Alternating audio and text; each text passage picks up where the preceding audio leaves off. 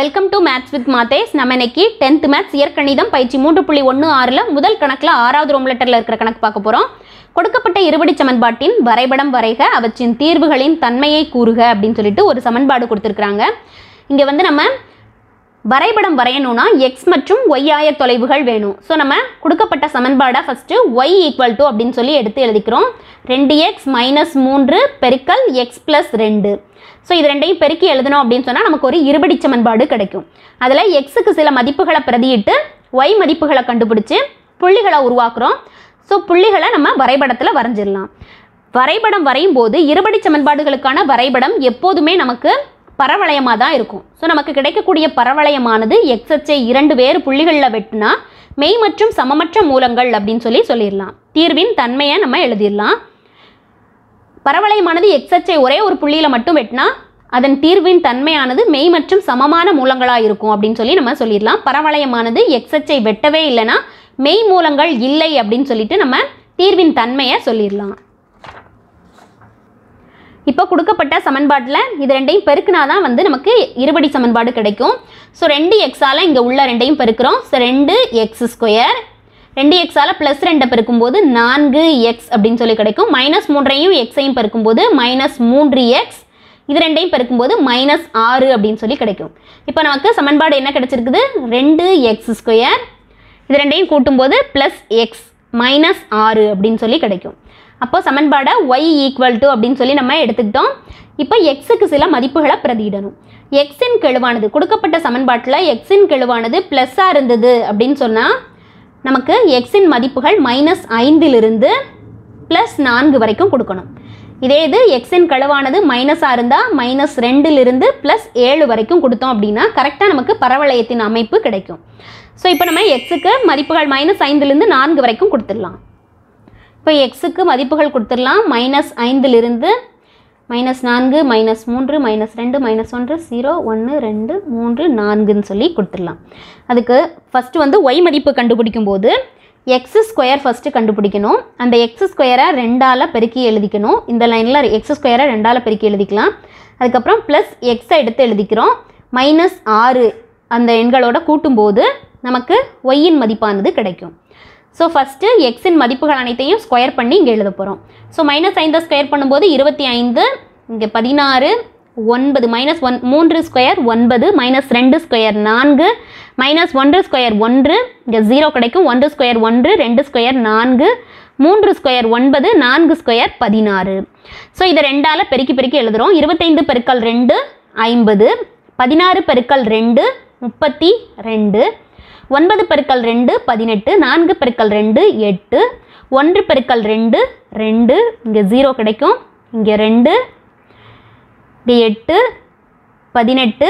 முப்பத்தி ரெண்டு ஸோ இங்கே ப்ளஸ் எக்ஸ் எக்ஸ் அப்படியே இங்கே ஒரு தடவை நம்ம கூட்டுறோம். ஸோ மைனஸ் ஐந்து மைனஸ் நான்கு மைனஸ் மூன்று மைனஸ் ரெண்டு மைனஸ் ஒன்று ஜீரோ ஒன்று ரெண்டு மூன்று நான்குன்னு சொல்லி எடுத்து எழுதிக்கிறோம். அது கூட ஆறை மைனஸ் பண்ணுறோம் இப்போ இந்த மூன்று காலத்தையும் நம்ம கூட்டுறோம். மூன்றையும் கூட்டும்போது நமக்கு ஒய் மதிப்பு கிடைக்கும். ஸோ இது ரெண்டையும் கூட்டும்போது மைனஸ் பதினொன்று கிடைக்கும். ஐம்பது மைனஸ் பதினொன்று அப்படின்னு சொல்லும்போது முப்பத்தி ஒன்பது கிடைக்கும். அடுத்து முப்பத்தி ரெண்டு மைனஸ் பத்து இருபத்தி ரெண்டு கிடைக்கும். பதினெட்டு மைனஸ் ஒன்பது ப்ளஸ் ஒன்பது கிடைக்கும். எட்டு மைனஸ் எட்டு ஜீரோ கிடைக்கும். ரெண்டு மைனஸ் ஒன்று ஒன்று. மைனஸ் ஆறு ப்ளஸ் ஒன்று மைனஸ் ஐந்து கிடைக்கும். ஜீரோ மைனஸ் ஆறு. ஸோ இந்த மூன்றையும் கூட்டும்போது மூன்று மைனஸ் ஆறுன்னு சொல்லும்போது மைனஸ் மூன்று கிடைக்கும்.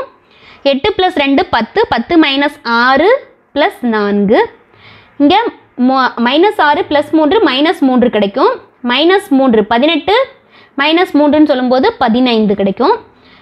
அடுத்து முப்பத்தி ரெண்டு ப்ளஸ் நான்கு முப்பத்தி ஆறு முப்பத்தி ஆறிலிருந்து ஆறை கழிக்கும்போது முப்பது கிடைக்கும். ஸோ இதுதான் நமக்கான ஒய் மதிப்பு இதிலிருந்து நம்ம புள்ளிகளை எடுத்து எழுதிக்கிறோம். புள்ளிகளை எழுதும்போது எக்ஸ் கமா ஒய்ன்னு எடுத்து எழுதணும். ஸோ இந்த எக்ஸ் கமா ஒய் மைனஸ் ஐந்து கமா முப்பத்தி ஒன்பது மைனஸ் நான்கு கமா இருபத்தி ரெண்டு மைனஸ் மூன்று கமா ஒன்பது மைனஸ் ரெண்டு கமா ஜீரோ மைனஸ் ஒன்று கமா மைனஸ் பதினைந்து ஜீரோ கமா மைனஸ் ஆறு ஒன்று கமா மைனஸ் மூன்று ரெண்டு கமா நான்கு மூன்று கமா பதினைந்து நான்கு கமா முப்பது. ஸோ அனைத்து புள்ளிகளையும் எடுத்து எழுதியாச்சு. இது அப்படியே நம்ம கிராஃபில் குறிச்சிடலாம். இப்போ நம்ம புள்ளிகளை கிராஃபில் குறிச்சிடலாம். அதுக்கு ஃபஸ்ட்டு அளவு திட்டம் எழுதுகிறோம் எக்ஸ் அச்சில் ஒரு சென்டிமீட்டர் ஈக்குவல் டு ஒரு அலகு. ஒய் அச்சில் ஒரு சென்டிமீட்டர் ஈக்குவல் டு ஐந்து அலகுகள் அப்படின்னு சொல்லி எடுத்து எண்களை அப்படியே எக்ஸ் அச்சிலையும் ஒய் அச்சிலையும் எடுத்து எழுதியிருக்கிறோம். இப்போ நம்ம புள்ளிகளை குறிக்கலாம். முதல் புள்ளி மைனஸ் ஐந்து கமா எக்ஸ் அச்சில் மைனஸ் ஐந்து ஒய் அச்சில் முப்பத்தி ஒன்பது. ஸோ நாற்பதுக்கு இரண்டு கோடுகளுக்கு முன்னால் இருக்கும். மைனஸ் நான்கு கமா இருபத்தி ரெண்டு எக்ஸ் அச்சில் மைனஸ் நான்கு ஒய் அச்சில் ப்ளஸ் இருபத்தி ரெண்டு இருபதுக்கு அடுத்து நான்காவது கோடு.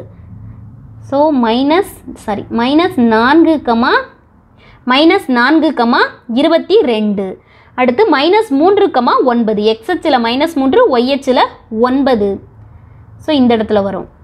மைனஸ் ரெண்டு கமா ஜீரோ எக்ஸ் அச்சில் அமையும். ஸோ மைனஸ் ரெண்டு கமா ஜீரோங்கிறது எக்ஸ்எச்சின் மீதே அமையும். அடுத்து மைனஸ் ஒன்று கமா மைனஸ் ஐந்து. எக்ஸ்எச்சில் மைனஸ் ஒன்று ஒய்ஹெச்சில் மைனஸ் ஐந்து. ஸோ இந்த இடத்துல வரும். அடுத்து ஜீரோ கமா மைனஸ் ஆறு. ஜீரோ கமா மைனஸ் ஆறு. அப்போ ஐந்துக்கு அடுத்த ரெண்டாவது கோடில் அமையும். அடுத்து ஒன்று கமா மைனஸ் மூன்று.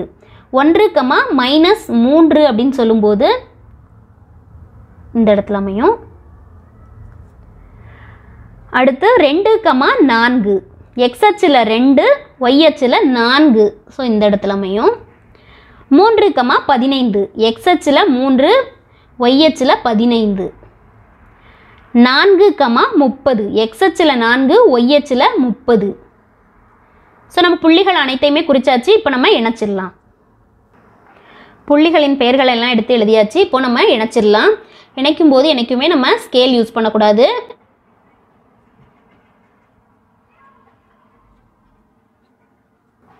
பரவளையம் வரைந்ததுக்கு அப்புறமா ரெண்டு சைடும் அம்புக்குறி போட்டுக்கணும்.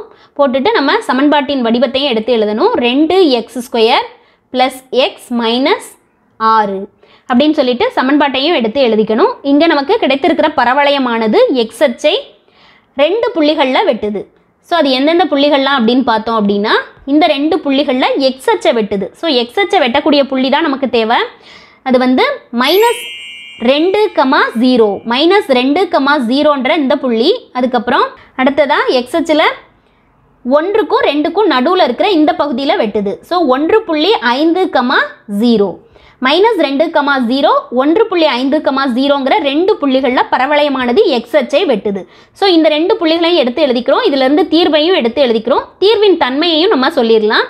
தீர்வின் தன்மையானது இருவேறு புள்ளிகளில் பரவளையமானது எக்ஸ்எச்சை வெட்டுவதால் மெய் மற்றும் சமமற்ற மூலங்கள் அப்படின்னு சொல்லிட்டு தேர்வின் தன்மையையும் எடுத்து எழுதிக்கிறோம். நமக்கு கிடைத்திருக்கிற பரவளையத்திலிருந்து ஆன்சர் எடுத்து எழுதுகிறோம் வரையப்பட்ட பரவளையமானது எக்ஸ்எச்சை இருவேறு புள்ளிகளில் வெட்டுகிறது. அவை மைனஸ் ரெண்டு கமா ஜீரோ ஒன்று புள்ளி ஐந்து கமா ஜீரோ அதாவது இந்த ரெண்டு புள்ளிகளையும் எடுத்து எழுதுகிறோம் மைனஸ் ரெண்டு கமா ஜீரோ ஒன்று புள்ளி ஐந்து கமா ஜீரோ எக்ஸ்எச்சில் வெட்டக்கூடிய ரெண்டு புள்ளிகளையும் எடுத்து எழுதி அவற்றின் ஆய தொலைவுகளை தான் நம்ம தீர்வுகளாக எடுத்து எழுதுகிறோம் தீர்வு எக்ஸ் ஈக்குவல் டு மைனஸ் ரெண்டு கமா ஒன்று புள்ளி ஐந்து. தீர்வின் தன்மையானது ரெண்டு புள்ளிகளில் வெட்டுறதுனால மெய் மற்றும் சமமற்ற மூலங்கள் அப்படின்னு சொல்லிட்டு தீர்வின் தன்மையையும் எடுத்து எழுதிக்கிறோம்.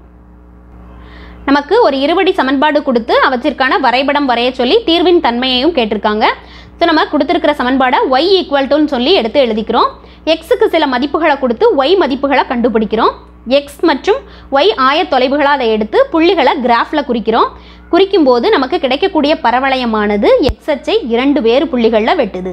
ஸோ அதுலேருந்து தீர்வையும் எடுத்து எழுதி தீர்வின் தன்மையையும் எடுத்து எழுதிக்கிறோம்.